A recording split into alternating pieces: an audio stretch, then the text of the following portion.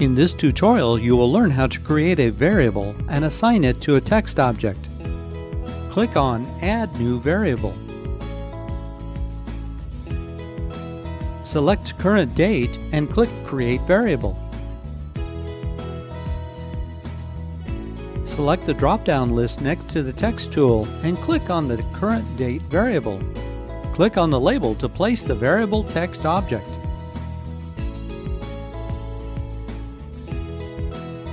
Click on the Text tool and click on the label to place it. Click on the Object menu. On the Source tab, click on the drop-down list and select Add New Variable. Select Current Time and click on Create Variable. Click Close. Select the drop-down list next to the Text tool and click on Add New Variable.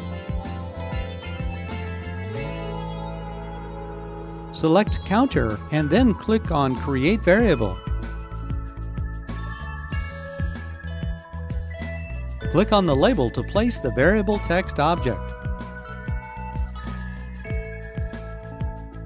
Click on Add New Variable. Select Variable, change the variable name, and click Create Variable.